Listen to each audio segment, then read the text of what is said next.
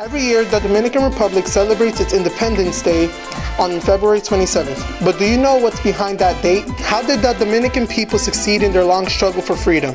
The history behind the Dominican Republic's struggle for independence is one of the most extraordinary and convoluted ones in the Americas. For starters, the Dominican Republic is one of the few countries in the world that have fought and won their independence twice first from Spain in 1821 and then from Haiti in 1844. It's the second one that Dominicans celebrate every February 27th, as that was the date in 1844 when a secret society known as La Trinitaria, the Trinity, started the independence war against the Haitian regime.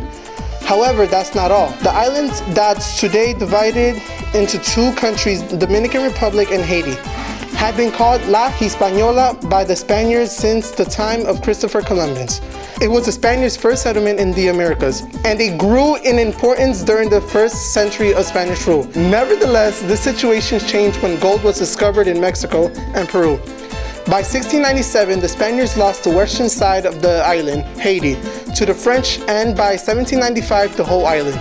By 1814, the Spaniards recaptured the eastern side of the island, only to lose it again due to the first successful independence of the Dominican Republic, which was hoping to join the Dominican Republic of Gran Colombia.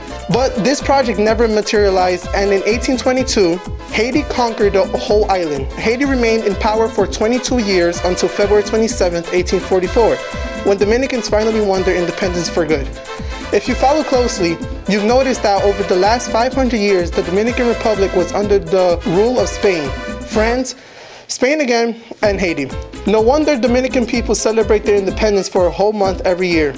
Although Dominican people celebrate their Independence Day on February 27th every year, the whole month of February is known as Patriotism Month. Celebration starts on January 26th with the commemoration of the birth of national hero and founding father Juan Pablo Duarte. Throughout the month, Dominicans celebrate their history, culture, and heritage. And here comes a cool twist.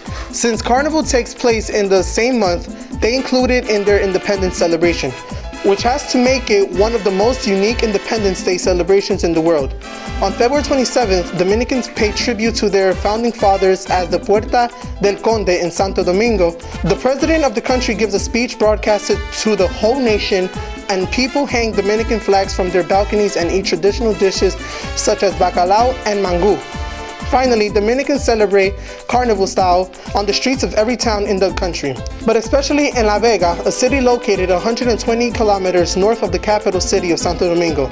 Here, the festive mood and patriotic pride of Dominicans mix to produce a celebration of legendary portions. As with most Latin American countries, the national flag of the Dominican Republic was created during their War of Independence. It makes sense as that was the time when the idea of new nations swept the continent.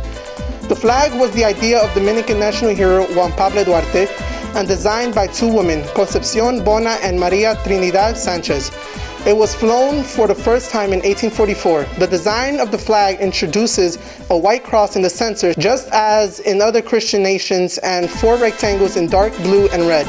In the center of the cross appears the Dominican coat of arms. Designed by Dominican politician Casimiro Nemesio de Moya, the official coat of arms of the Dominican Republic features a shield with the combination of colors of the flag, blue, red, and white with six spears, a yellow cross, and the Bible open to John 8:32, Y la verdad os hará libres, and the truth shall make you free. A laurel branch and a palm frond are on either side of the shield. Below it, a red ribbon bears the name of the country in yellow. And above the shield, the national motto, Dios, Patria, Libertad, God, Fatherland, Liberty. And that's it for today on the History for Dominican Independence Day.